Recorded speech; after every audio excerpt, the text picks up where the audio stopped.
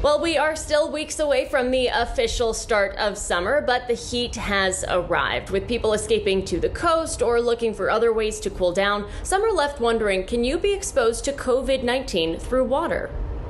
Triple digit temps have made their way to Kern County, and while local public pools and spray parks remain closed, people are still looking for ways to cool down. Many residents reaching out to the Department of Recreation and Parks to find out when Bakersfield's 10 spray parks might be reopening. We are receiving uh, emails and phone calls, uh, but we are waiting for guidance from the county health department as well as the state health department. Health officials now are weighing in on the risk of getting infected through water. Previous research from the University of Arizona shows that coronavirus can survive for a period of time in tap water.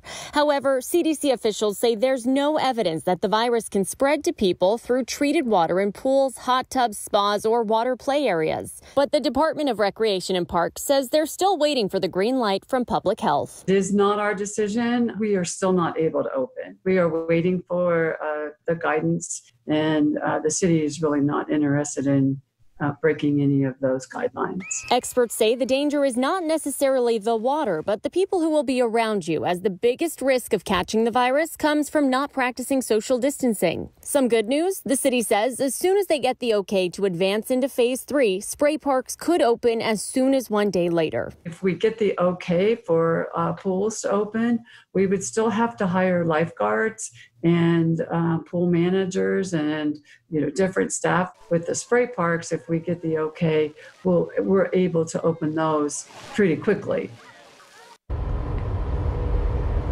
As far as limiting capacity or any other changes the city will make to public pools and spray parks once they get the green light to reopen, they say they won't know much until they hear from public health officials. Diane also added you can always check the city's website or Facebook page if you're looking to take part in safe activities somewhere near your home. You can find those on bakersfieldcity.us.